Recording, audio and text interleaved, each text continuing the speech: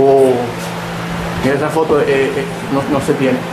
Ese- Esta es la madre. Esto, sí, esto es La- una foto De- de- pintada de Elizabeth. Por, pintada por un aficionado de pintura o pintor. Esto, eso es, todo eso es hecho a mano. Y esto también. Y este, este cuadro. Ah, este es Calzada. Sí, Es un famoso pintor. sí. Calzada. Pero mira qué feliz se le ve ahí. Se está tan ¿Tú, tú recuerdas dónde fue eso, Delfín? Si fue en el patio. Esa, esa foto, figúrate, de esa foto hay bastante, así que eh, ellos se retrataban mil veces así, sabe Dios dónde fue esa foto. Hay una pregunta que te quiero hacer. ¿Cómo Mira, ustedes.? este es dos días de haber nacido él en el Hospital Santa Isabel de Cárdenas, ¿eh? Y esa es la madre, ¿no? Este es Elizabeth. Y todos estos son cuadros pintados a mano. Este es pintado a mano, aquel, mira, aquel, una muchacha de Orlando lo pintó, mira qué clase- pintado, Oh, qué, belleza. Bastante perfecto. Y hay mucha religiosidad en este hogar, en, Sí. esta, en, este, en este museo único en, en Porque Aquí Miami. está la gracia de Dios. Porque hay que, mira otra vez la religiosidad, porque hay que decir que la libertad es un don de Dios. Las leyes las hacen los hombres, Sí. pero la libertad es un don de Dios y nadie, nadie puede, nadie puede coartar la libertad que le dio Elizabeth. falta una. Estos son regalos también que le hicieron. Y todo eso, todo, todo lo que hay aquí es regalo de la comunidad. Aquí, falta un retrato mío, pero yo estoy sentado en la puerta que salió en la, en la primera página de la revista de la iglesia. Sí, realmente, yo lo tenía aquí, pero me dijeron que tú estabas muy feo. ¿Cómo? Y cuando se lo llevaron para Cuba, mira, esta es la casa y mira los guardias ahí cuidándolo. ¿eh? Cuando llegaron a Cárdenas, a, ca- a la casa que era de los viejos míos, que mi abue- el hermano, el Ah, sí, abuelo, el esta. padre de él, se quedó viviendo ahí porque ya todo el mundo se había ido. Y, y la vieja había fallecido y eso, y él se fue quedando ahí y se quedó. Ahí, se, ahí nació Juan Miguel, ahí nació Juan Miguel y se crió el niño también. ¿eh? Y Juan Miguel sigue ausente con relación a ustedes, no, no conversa, no habla. Juan Miguel lo que es un muchacho que tiene poco, Capacidad. poco, poco testosterona. Ese es el delfín, señor, hablando, Eh, testosterona. Él, eh, en realidad él, él no hay que darle mucho para que se plegue aún. Es un canalla. Porque esa mujer dio la vida por su hijo, carajo.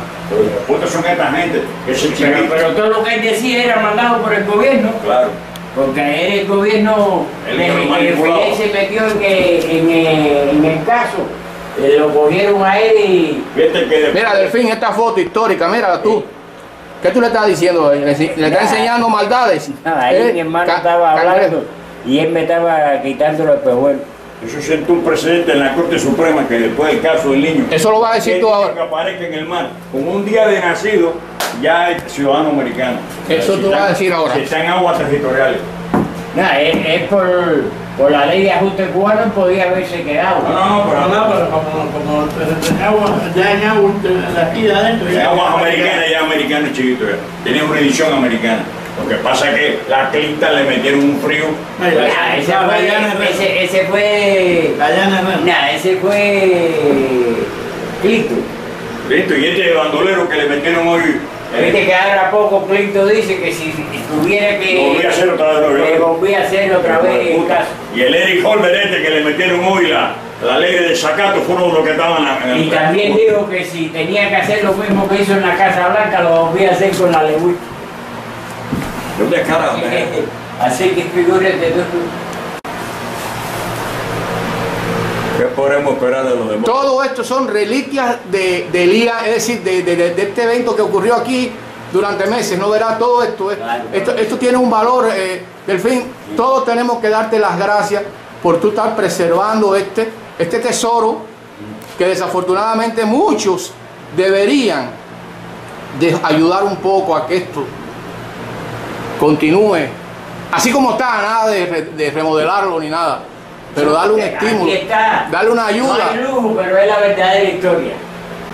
De una No, casa no. humilde que estaba protegiendo a un niño que quería vivir en libertad. Más no decir que se perdió la batalla. Si no, Se luchó. continuamos Ah, luchando. fíjate cómo ellos cogen al americano para que lo cuide. Ahí, para que no sea Mary Lady, tu, pare- tu, pa- tu sobrina, ¿no? No, eso fue espontáneo. Eh, eh, Delfín, una, fue una pregunta, Delfín, una pregunta. Estas flores están frescas.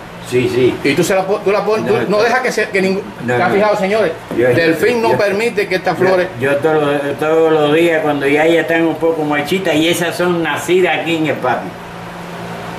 Esas son de aquí del patio. Ella no tiene flores de Colombia ni ninguna. Ni plástica, de- del Nacidas patio. Igual que la mamá de él, mira. Mira. Y el viejo mío también, que el viejo mío era agricultor. ¿Qué edad tenía la mamá del fin cuando? La mamá, yo no sé bien, porque yo la mamá la vine a conocer aquí en retrato. Yo no, Veintipico, ¿eh? veintipico, veintidós, veintitrés años. No llegaba a los Clase 27. extranjera, acabado que ver a la No llegaba a los 27. Cojones. Delfín, de- Eh, eh, nosotros le preguntábamos cómo era natural y entonces él un día nos contó a mí, a Lázaro, que ya cuando estaban llegando ahí las moradas, veían la- las luces de la carretera de, de los Cayos y entonces todo el mundo empezó a, a, a- a- a moverse de, de alegría y eso y ahí el barquito se hundió y entonces ellos traían unas gomitas de Moscovi y el padrastro y la madre lo pusieron arriba de la gomita y se aguantaron. Entonces, al poquito rato, él dice que él sentía auxilio, Mahogo, auxilio, auxilio. Y entonces la mamá se va para abajo y el padrastro bajó a buscarla dice que no salieron más y la corriente se lo fue llevando, se lo fue llevando y se lo llevó. Y yo le preguntaba, y bueno, si hay mucha gente que le da alucinaciones por, por el hecho de estar en el mar y eso, y se tiran y eso, ¿a ti no te dio eso? Y dice, no, yo lo que veía muchos tiburones brincando, y Y hay- eran los delfines. tú te llamas Delfín. Eh, muchos eh, eh, enemigos nuestros dicen que todo eso ha sido fabricado. Qué casualidad que tú, Delfín, los que lo protegían eran los delfines. Lo mismo que protegen a los cubanos que se tiran por Guantánamo, de los tiburones que lo protegen los, eh, los- los delfines, que allá le dicen otro nombre. Mira, Eran delfines los que estaban alrededor del delfines, niño. mira, eh, esta virgen, esta virgen que ves aquí, mi papá se la encontró en el año 50 en el agua, flotando, porque mi papá trabajaba eh, en los muelles de, eh, de Cárdenas y se la encontró flotando. La recogió y la llevó para la casa. Yo la cogí, la mandé a pintar y le hice unos nitas en el patio. Después caí preso. Después yo vine para acá y, y mi hermano cuando nosotros lo reclamamos, la trajo vía Costa Rica y me la entregó aquí. Entonces yo la volví a remodelar, le puse la coronita y todo eso y la llevé para los Cayos porque yo vivía en los Cayos cuando eso. Cuando Juan Miguel nos llama y nos dice que Elisa se había llevado al niño y que él no tenía noticia de, de- de eso.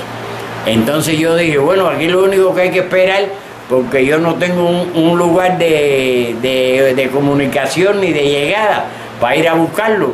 Y ese estrecho de la Florida entre Bahamas y Los Cayos es muy grande. Entonces yo le dije, hay que esperar.